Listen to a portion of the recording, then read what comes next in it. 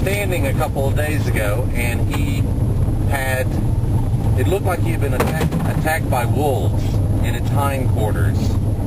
Um, it had blood on its back leg, its tail was chewed a little bit, and I don't know how much damage this bison actually received. Grotto guys. Grotto Geyser, there it goes. yeah, you can hear it. Nice. We're rolling here. We're getting this uh, Riverside Geyser. Say say hi to the folks back home. Well, that's that's it. It's not as big as St. Helens. It's pretty good though.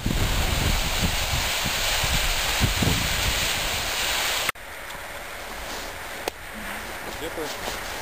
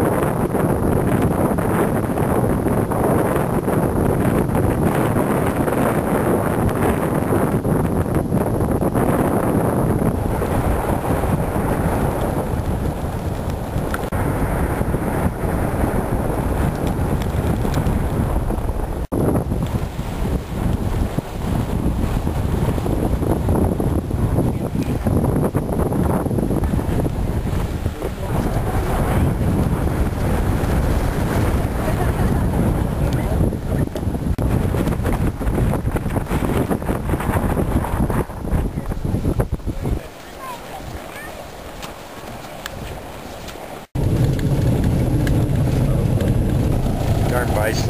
They're everywhere.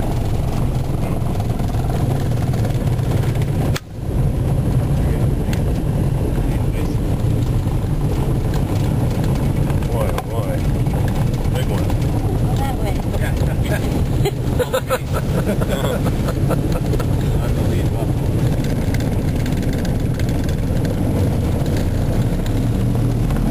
Oh no, he started a stampede.